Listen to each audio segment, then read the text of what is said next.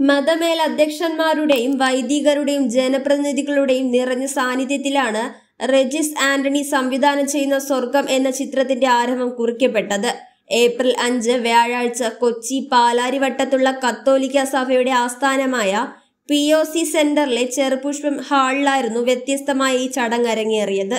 Thalassery bishop അഭിവന്ധ്യ Joseph Pamplany തിരുമേനിയും Mani C Kappan M L എയുമായിരുന്നു മുഖ്യാതിഥികൾ. ഇരുവരും ഭദ്രദീപം തെളിയിച്ചാണ് ചടങ്ങിന് തുടക്കമായത്.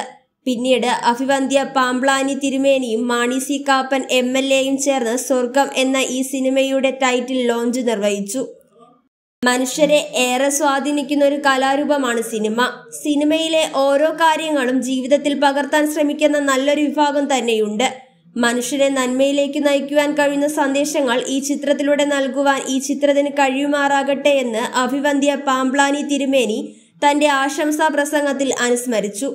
തന്റെ നാട്ടുകാരിയായ ലിസി ഫെർണാണ്ടസ് നിർമ്മിക്കുന്ന ഈ ചിത്രത്തിന് എല്ലാ ആശംസകളും Mani C Kappan M L എയും നേർന്നു.